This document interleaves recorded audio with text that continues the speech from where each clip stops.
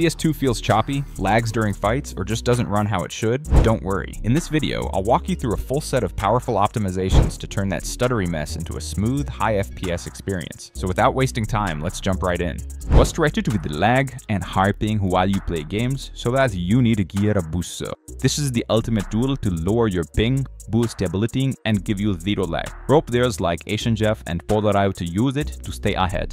So why not you? Download Booster now from the link in the description and dominate every match. Open Steam, head to your game library and find Counter-Strike 2. Right-click on the game, choose Properties, and under the General tab, you'll find a field to enter launch options. Here, paste the exact launch code provided in the video description. This code is designed to streamline your system's performance by reducing unnecessary overhead right from the moment CS2 starts.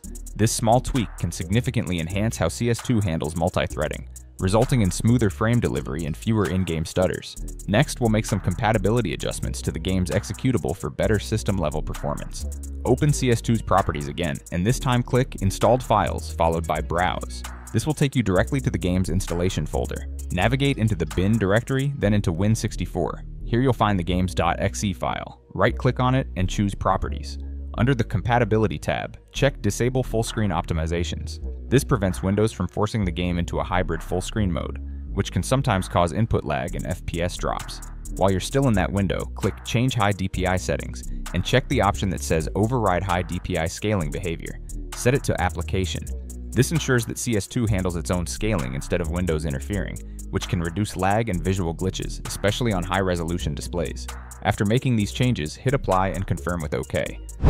Alright guys, the next step to level up your performance in CS2 is to download the CS2 FPS Boost Pack. The download link is available on my official website. Just head over to the description of this video and click the link. Once you're on the site, go to the FPS Boost section. You'll easily spot the latest post. It has the same title and thumbnail as the video you're watching right now, so there's no confusion. After downloading the pack, open it and locate the Registry Optimization folder. Inside, you'll find several registry files that are pre-configured to enhance gaming performance. Install all of them one by one. These registry tweaks work by reallocating system priorities to gaming processes, reducing latency, and improving the overall responsiveness of your PC, specifically for CS2. Once that's done, move on to the next critical component, the Quick Boost application, which is also included in the pack. Install this tool on your system. It's designed to instantly tweak your CPU for better performance with just a few clicks. This ensures smoother gameplay and less lag, especially during intensive moments in CS2 matches. After installation, open Quick Boost and begin in the General tab. Start by enabling exclusive full screen mode. This setting gives CS2 the highest possible priority when running, which helps eliminate stutters. Next, turn on the Xbox game bar. While it's often disabled, certain background services tied to it can actually improve input responsiveness. Then, enable install time resolution services, a feature that helps reduce input delay by fine-tuning system timing. Now disable startup telemetry, which not only boosts performance but also cuts down on Windows tracking in the background. Be sure to turn off mouse acceleration as well. This change alone can dramatically improve your aim accuracy in CS2 and other fast-paced shooters. If you're used to inconsistent flicks and tracking, this tweak is a game changer. Next up, disable power saving mode to ensure your system is always using the highest performance profile. Then apply the System Profile Fix, which adjusts system behavior to favor stability and responsiveness during gaming.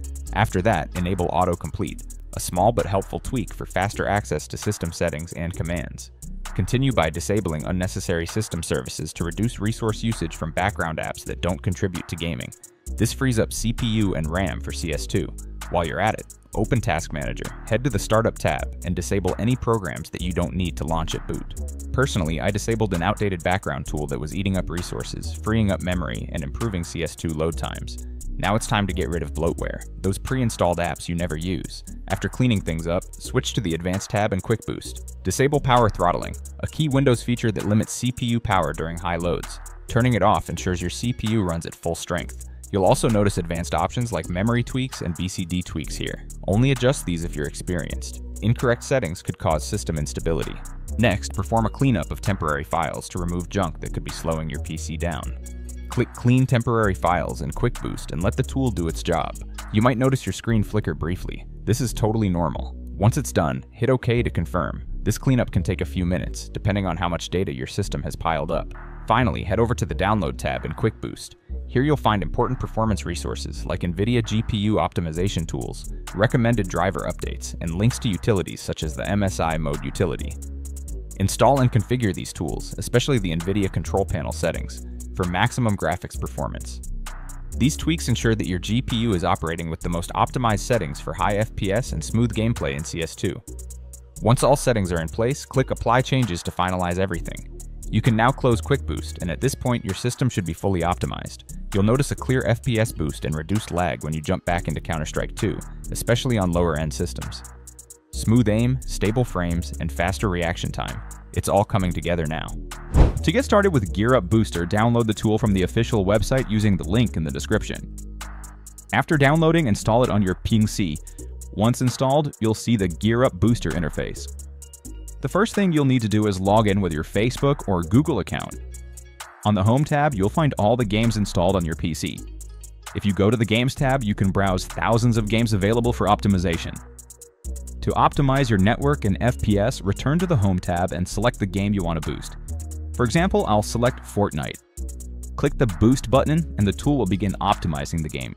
It will automatically find the best server for you. Next, you'll need to choose your server region. Select the nearest server for the best connection. In my case, the middle server works best. After selecting the server, close the window. Now, go to the Not tab, where you'll see a list of servers available in the Middle East. Choose the nearest one or let GearUp automatically pick the best server for you. I recommend setting it to Automatic for the best results. Finally, close the window and launch your game using GearUp Booster. This will help you optimize Fortnite or any other game for lower ping and higher FPS. Next, open the Settings app. From there, go to the System section, then select Power and Sleep and click on Additional Power Settings. This will take you into the Advanced Power Configuration window, where you can unlock higher performance potential. To get the best results, in the left sidebar, click on Choose what the power buttons do, and then select Change settings that are currently unavailable. Once the hidden options are visible, uncheck the box labeled Turn on Fast Startup. This setting, when enabled, puts your system into a hybrid sleep mode rather than shutting it down completely. Disabling it allows your system to perform a full reset each time it powers off, which can reduce memory leaks and help maintain consistent performance during long gaming sessions. Now head back into the power options and select the high performance plan. If your system supports it, you can also choose the ultimate performance plan for even better results. This option is especially useful for high-end or gaming-focused setups. Next, click Change Plan Settings, then choose Change Advanced Power Settings. A new window will appear with dozens of options. Expand the PCI Express section and under Link State Power Management, set it to Off. This prevents the system from reducing GPU performance through power-saving features, which can sometimes cause stutters or FPS drops in CS2. Now scroll down to Processor Power Management. Here, adjust both the minimum processor state and maximum processor state to 100%. This ensures your CPU is always running at full capacity, which is crucial for games like Counter-Strike 2 that require consistent, low latency performance. After making all these adjustments, apply and save the changes. With your system now running on a high performance power plan and all CPU throttling and unnecessary power saving features disabled, you'll notice a clear improvement in CS2 gameplay. Now guys, launch Task Manager. Just right click on your taskbar and select Task Manager from the menu. Once it's open, switch to the Services tab to access the full list of active services running on your system.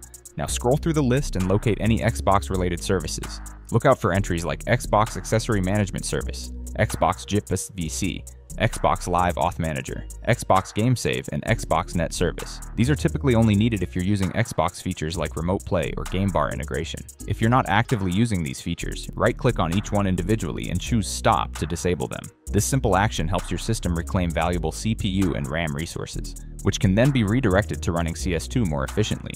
If you're not using Xbox Game Bar for screen recording or overlay features, it's also a good idea to disable it entirely. Doing so not only reduces background processing, but also helps prevent random input lag or FPS dips caused by system hooks tied to the game bar. Once you've disabled the unnecessary services, make sure to restart your PC to allow all the changes to fully apply. After rebooting, your system will be running with significantly fewer background tasks, freeing up memory, reducing CPU load, and ultimately leading to a more stable and responsive gaming environment. In some setups, this can reduce up to 40 background processes, making a noticeable difference in CS2 performance, especially on low or mid-end systems. Hope this helped. If your game feels smoother now, drop a like and consider subscribing for more CS2 tips. Catch you in the next one.